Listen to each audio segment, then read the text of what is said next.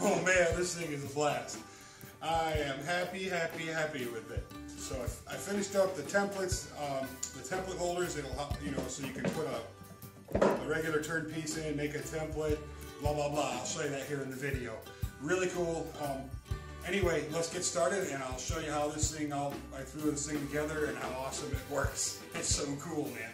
So picking up where we left off in the last video, I took the headstock back out and I'm drilling a quarter inch hole in the center bolt of that headstock. The reason I'm doing that is I want to put a, uh, a little quarter inch shaft sticking out of it so I can center other templates, um, other style of holders and headstocks on there. Here I'm just getting ready to cut, cut a piece to hold the drill on. I set it up against the drill, marked it out, and now I'm just cutting it out on the bandsaw.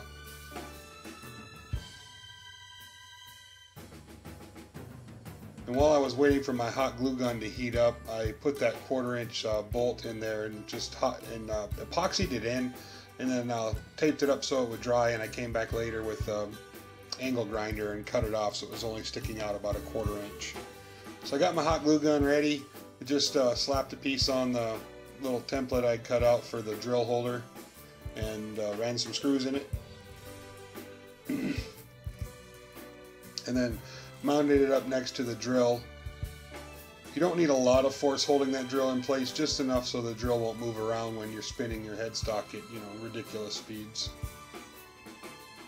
I took it out and then I used a hose clamp and tighten everything back up and then just tighten the hose clamp down and that holds the drill in place really nicely. Does a good job. So next I wanted to work on the uh, template holders. These hold, the template holders will hold templates or it'll hold um, uh, an already turned piece that you want to copy.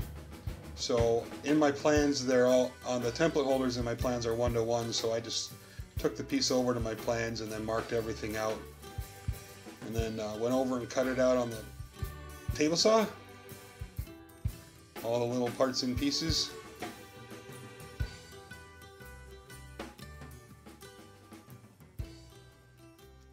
Then I wanted to make a knob for the uh, headstock template holder, and I didn't make a pattern for it, so I just uh, used the used the uh, plans, set up my compass, and marked it out.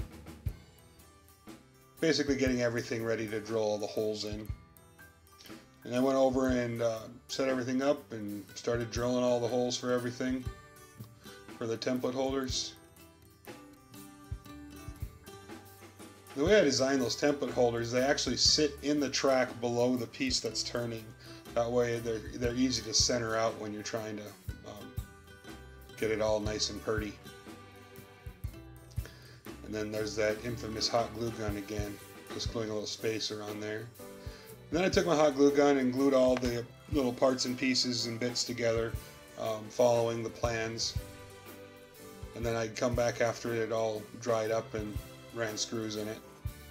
Here I'm putting a 3 quarter inch piece on the bottom of the headstock template holder and that'll just sit in that track that the uh, tailstock rides along in. There's tighten it down and the, and the rear headstock actually works on the uh, on the tailstock fasteners. So, and then these are the plans for the uh, router slide or the sled for the router but uh, because I'd already built one before, I'm not redoing the whole thing. I'm just cutting out a few parts I need to modify it.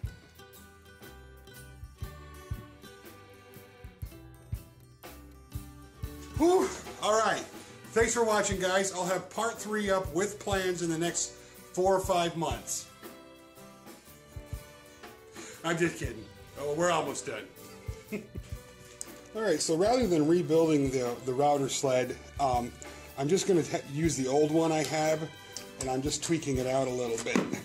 This one's fully adjustable. I've got a 5 16 bolt in here with a handle on it, and then I put a T-nut in here and secured it with a couple of screws on both sides. So that, that slides in there, and then I can just move this back and forth, and the router sits on top of that slide, and that moves back and forth so I can adjust it. And then I'm just going to screw it to this base to add some height to it that I need, and then I can um, put my router mount back on here and my pin my pin for following the guide I'm going to mount right in front here and that pin will just follow the guide here and I'll make a slot so I can put different size pins in for different size router bits.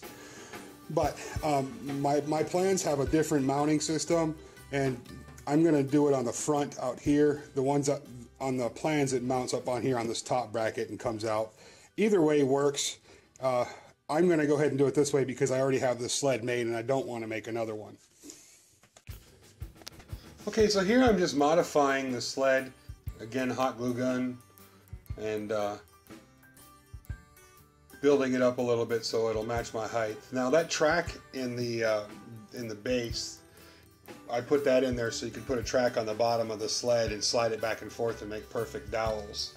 Um, and I didn't show that in this video. I'll do it in a future video. But here I'm just mounting on some uh, more hose clamps to mount the router to. It's a lot better option for really getting a nice tight snug hold down.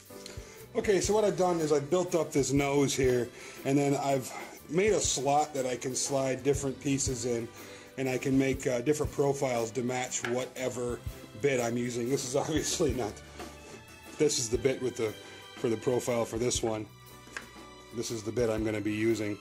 But um, then I can just screw it down in place and uh, follow a profile with this along an edge.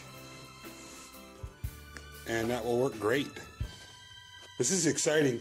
I'm really, really looking forward to trying this and we're just so close. So the way I I left this plate blank so you can mount all kinds of different mounting brackets and heads to it. And um, we'll go over some of that in another video. And then uh, I built the side up so I could put a piece of polyacrylic on it to be a chip guard, but I accidentally grabbed the kind you can't see through, so that's not going to do me any good today. One of the things I wanted to show you really quick is that this drill is variable speed by the amount of pressure you put on the trigger. And since I'm locking the trigger in place, it's no longer variable speed. It's just a high speed. So I found uh, this, this old sewing machine that someone was chucking out because the sewing machine was broken, but I took the pedal and I've wired it up through the pedal so I can uh, get low speeds, medium speeds, or or super fast speeds just by wiring it through this uh, this old sewing machine pedal. And then I can put a bolt through here and make it adjustable so I can adjust the speed um, quite accurately. So that's a neat little trick you make your, your lathe um, variable speed. Now, what's really cool about this little template setup here is you can just put this one, a regular leg in there that you want to duplicate or whatever, and then just follow it along with your, your pattern on your router sled. Or you can make your own make your own template and by just putting a couple blocks in putting a couple blocks in and fastening them to those template guides you can go along and then you can follow a template. So you can basically draw out any pattern that you want and make anything duplicate anything